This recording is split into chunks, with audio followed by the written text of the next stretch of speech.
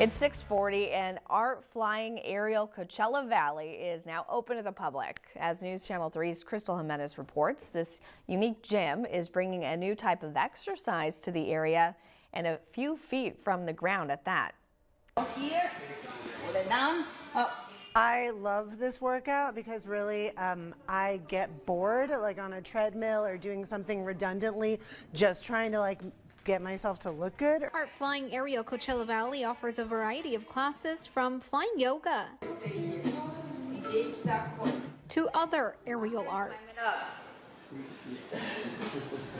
that anyone at any experience level can participate in. Our motto here is that everybody can do it. It doesn't matter if you're tall, short, big, small, you know, older, younger. It doesn't matter. Everybody. It's a little more than a month in since it opened its doors to the public. Already, people who signed up the very first week say they have seen body improvements. I can like do stuff that I've never been able to do. I can like touch my toes. I can touch the ground.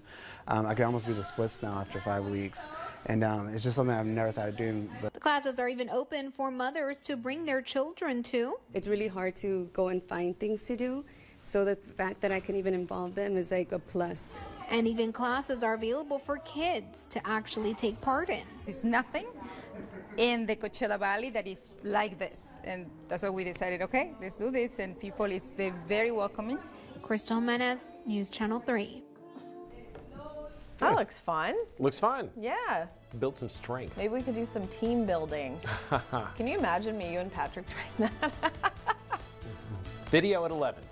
We'll show it to you. Uh, 6